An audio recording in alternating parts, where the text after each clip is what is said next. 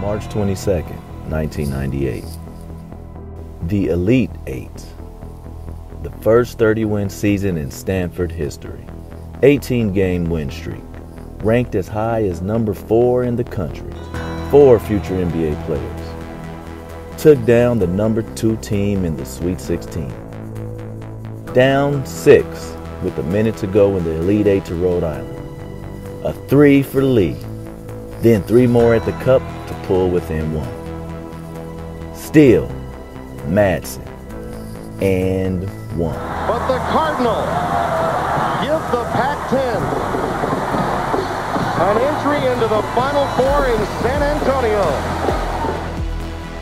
Card to the Final Four for the first time in 56 years. Forever embedded in history.